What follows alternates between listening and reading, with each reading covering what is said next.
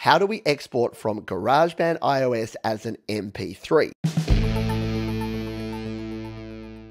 We can't actually do it, but we can convert it quite easily using a voice recorder app.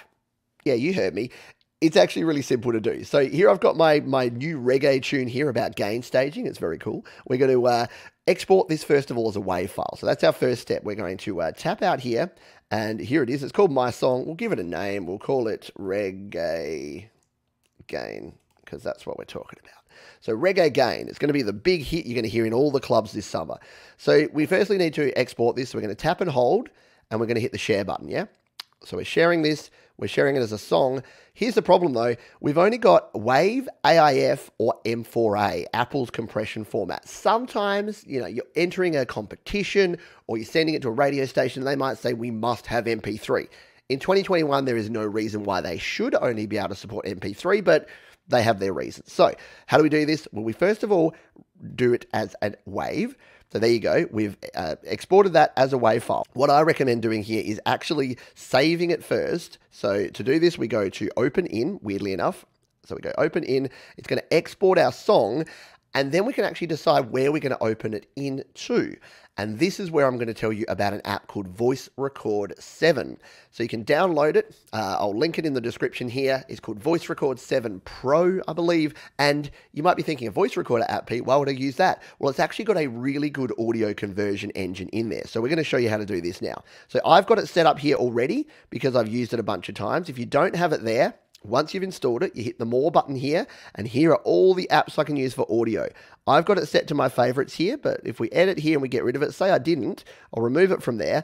What you would do the first time you're using this is that you'll come in here, it won't be there in your favorites, and you come right over to the right here, you hit More, and then you scroll on down until you find Voice Record 7, which is there.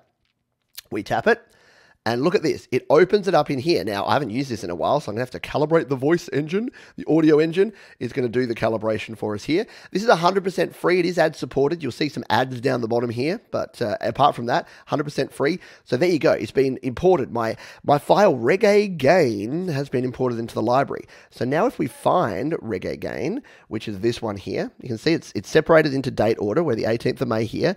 Reggae Gain here. We can actually tap on this one, and you've got a whole bunch of options here here. So you can play it, you can send it via email, you can create videos using this of your audio. There's a bunch of cool stuff that we can do. But what we want to actually do is do our conversion. Now you can come here and just do convert to MP3. That'll do it instantly for you. But I'm going to point you to this one, Advanced Converter, because this will let you set all of the specifications of your file. So we'll tap Advanced Converter, and here you've got Convert to MP4 is the preset. We don't want that. We want to use the Convert to MP3, or in fact, I've created a high quality MP3 already already, but you won't have that. So convert to MP3. So we've got MP3 here, the settings. So we can either match the source or we can do manual. So I tend to do manual just so that I can make sure everything's working here. So my sample rate here, 44.1 kilohertz.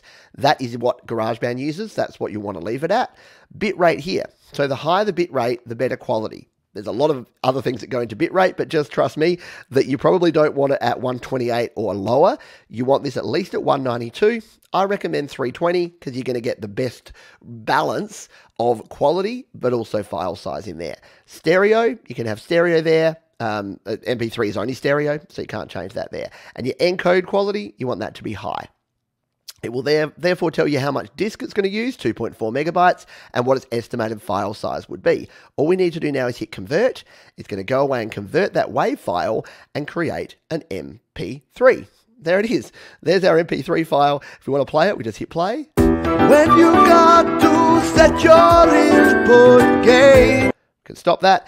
And then we can do a bunch of things here. So if you then want to do something with this, well, we come down here to activities and airdrop. So we wanted to save this over to our files so we can use it to upload to Google Drive, to email, to send to someone, whatever we want to do. Activities and airdrop, and we go audio. It's going to bring up our very familiar share sheet. So now we can send it over to LumaFusion, we can chuck it into iMovie if we're creating a video of our song, or we can save it to files for posterity. So we've got Reggae Gain here. I'll just throw it here in my Studio Live Today folder, hit save, and there you go. It's there. And if we want to come and find it, we can just go over here to Files, iCloud Drive. We can go to my Studio Live Today folder, which is there. And the, the, the, the, where is it? there it is. Reggae gain. So there's the file. We can actually use this from within our, within our files app. We can zip it up. We can share it. We can do what we want. And of course, we can play it to learn about gain staging. When you got to set your input gain, you don't want it that is going to be in your head all day. You're welcome.